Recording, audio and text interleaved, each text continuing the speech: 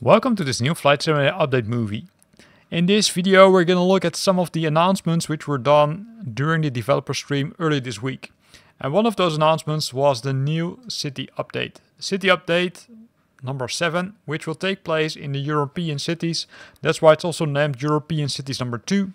It will take place in, for example, Barcelona, as you currently can see on the screen. Uh, so that's really, I would say, really nice, right? So besides Barcelona, if we move on a bit, uh, we can see Madrid, which is also being updated. In most cases, you will see that the photogrammetry content is being updated, right? So, uh, which means I would say really the, the data which comes from Bing. You won't see a lot of point of interest, although they might add some point of interest, maybe, but I don't expect it to be honest. Uh, in addition to that, right, what you will see is that the elevation is also, let's say, updated, which means, let's say, that it's more realistic, right? If you fly over it and you see, for example, mountains, they are more, more elevated compared to how they are uh, currently in Flight Simulator.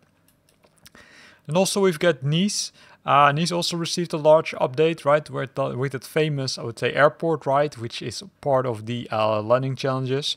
Uh, so I'm really looking forward to how that will look like after uh, this pack has been released, which is currently scheduled to be on the 28th of May, so a little bit more than a month from now, or exactly a month from now. Then we've got Monte Carlo, Monte Carlo also, if you fly over it currently, it doesn't look that nice. But if you see this, there's, I would say, a lot of improvements. I would really love the city to have some more point of interest, for example. Uh, but it looks really cool.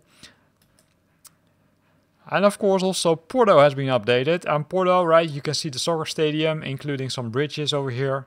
Uh, that's what you what might appear, right? I don't say that it will appear, but if they are focusing on point of interest, you will see them most likely to be, I would say, bridges, uh, churches, uh, I would say soccer stadia, and th those kind, those type of buildings. But in this case, uh, I don't expect something. Also Porto. And then the last one, we will jump to the northeast part of Europe, which is uh, Stockholm, right? Also received some updates, so pretty, pretty nice. Then the next surprise is this one, and that's the, how they call it, the local legend number 16.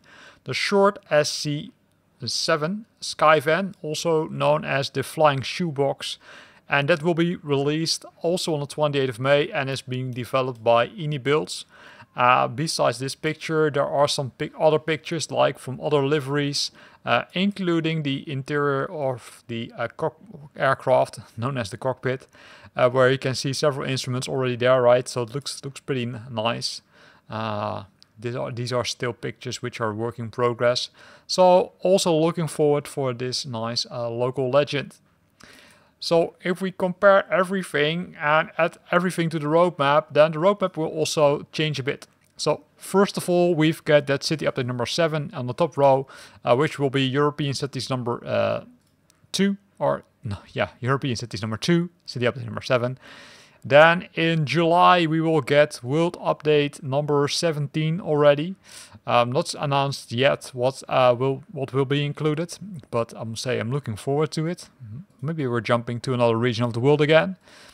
Then in June we will get an additional uh, local legend, the local legend number 17 also. And in July it will be already the local legend number 18. Famous flyers will be will they also be released? Yes, there will be a new famous flyer, and that's number four or three, number nine in June, as well as number ten in July. And then if we scroll to the bottom right, we can see some nice things, including some surprises. So first of all, in May, there will be a sim update number 15. That's currently in beta, right? So if you're a beta participant, you already know what's being added. A lot of improvements, a lot of performance improvements, but also the long-awaited A320 V2 created by Inibuilds. In June and July, they've got surprises. And the question is, okay, what are those surprises, right? Because if you look at the uh, list on the uh, left side, you can also see that Microsoft Flight Simulator 2024 has been added.